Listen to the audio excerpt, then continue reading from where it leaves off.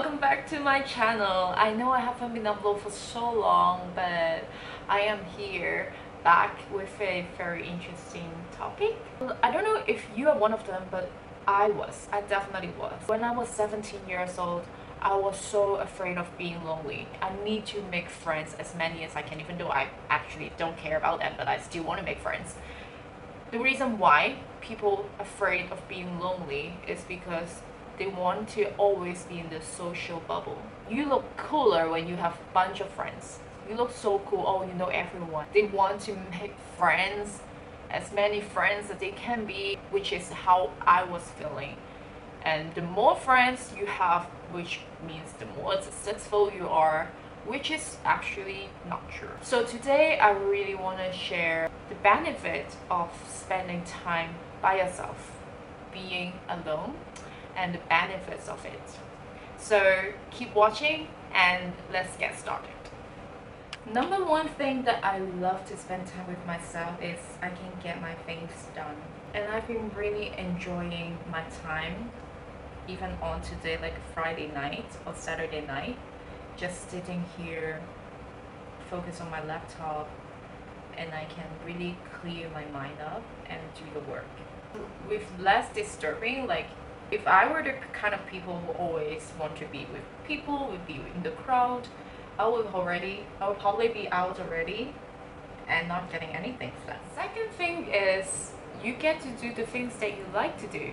Let's say if you and your friends share different fashion sense, you like to go to Topshop, H&M, but they only like to do, I don't know, Chanel luxury stuff. It's just such a waste of time if you only join your friends but you're not enjoying what you're doing. So instead of doing it, you can just spend a day with yourself, go to the shops that you enjoy, go to the restaurant that you've been always want to try out. Even by yourself, it's still a happiness. And the next thing, I've been learning so much, which is being by yourself you don't need to force yourself to deal with people that you don't like. Let's be real. We all want to be friendly with everyone. But the truth is, I don't like everyone. I don't want to be friends with everyone. I used to, but not anymore, because I realized people have different personality and I respect that.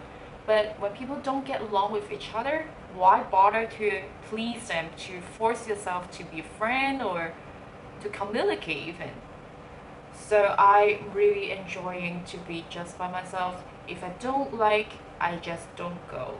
It saved me a lot of energy. And I'm ready to put those energy to do something that I like. And the next very important point is your mental health. Your mental health means your inner body, how your inner body feel sometimes we just too focusing on our outlook like I need to go to the gym to look slimmer to look toner. But sometimes we forgot about our mind. Our mind is so powerful. If they're ill which means if your mental health is not healthy it could bring you down completely. So I really love to spend time with myself because I get some me time. If you're into cooking make yourself a pasta enjoy the procedure of putting the oil, boiling the pasta. If you like to draw, just sit down, put some music, and you can feel free to draw anything. It helps a lot and it heals the soul. And also you can read. Reading is, I don't like reading to be honest. I know reading is like such a calm of mind. Your mind will be in a different stage because I try I've been trying to focusing on reading a book lately and I do realize wow it's already been 20 minutes. So reading is definitely helps inside and to your mind as well. And also making videos like what I'm doing. I enjoy making videos. I just don't like to edit it. But yeah, making video is something that I like to do. But when I'm with someone, I won't be able to sit down to try to make a video because I need like hours to film one video because I always fail in case you don't know. This is probably my 20 takes in the past hour. Anyways, but my point is yeah, I get to sit down and talk about so much things that I want to share with you.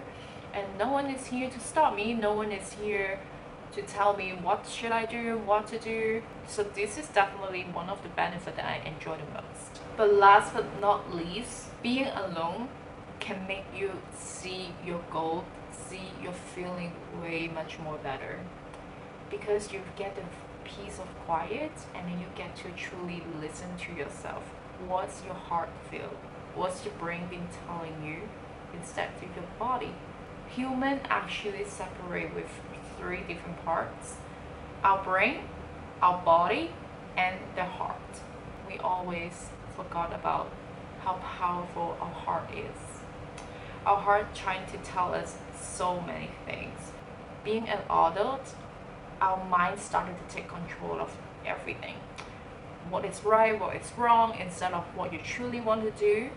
So spending some me time, spending time alone to truly listen to your heart, what do you really want deep down. Meditation help. If you're interested, try to do some meditation. It is not easy for your first few sessions for sure, but once you get into it, you kind of like calm your mind down a little and eventually you will see the big difference.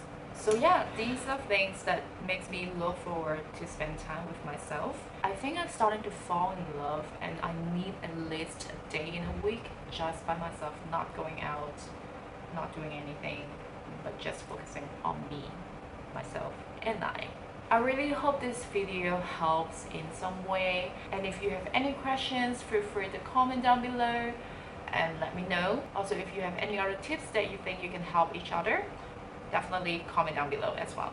Don't forget to like and subscribe. I hope to see you very soon. Have a good day and I'll see you soon.